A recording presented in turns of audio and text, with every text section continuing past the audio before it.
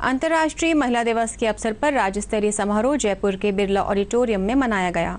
कार्यक्रम में मुख्य अतिथि मुख्यमंत्री अशोक गहलोत, महिला एवं बाल विकास मंत्री ममता भूपेश ने शिरकत करते हुए महिला सशक्तिकरण और जागरूकता के विभिन्न क्षेत्रों में उत्कृष्ट प्रदर्शन करने वाली महिलाओं का सम्मान किया। मुख्यमंत्री ने कहा कि महिलाओं को आत्मनिर्भर बनाने के उद्देश्य से सरकार विभिन्न योजनाओं का संचालन कर रही है। प्रदेश की महिलाएँ आज हर वर्ग और हर क्षेत्र में देश विदेश में अपना नाम रोशन कर रही हैं। किसी कीमत पे नहीं होना चाहिए, हमें सुनिश्चित करना। और उसके लिए ज़रूरी है कि, ज़रूरी है कि निर्भया स्पेड जो है, इसके अंतर्गत ट्रेनिंग जितनी बहनें ले सकती हैं, उनको लेनी चाहिए। सरकार की तरफ़ मैं कहना चाहूँगा, इसके लिए कोई धन की कमी नहीं आने दी जाएगी। जो साधन खर्च होंगे हम करेंगे।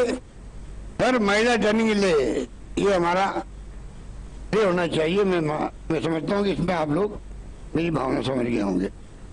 हमने शिक्षा सेतु योजना चलाई और उन बच्चियों को वापस से स्कूल और कॉलेज से जोड़ा।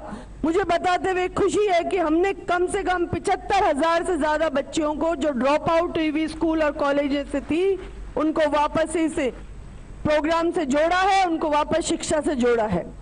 हमने हज़ारों बच्चियों को कंप्यूटर के बेसिक और एडवांस कोर्स सिखाए हैं। हज़ारों बच्चियों को हमने उद्योग स्थापित करने की मदद दी है।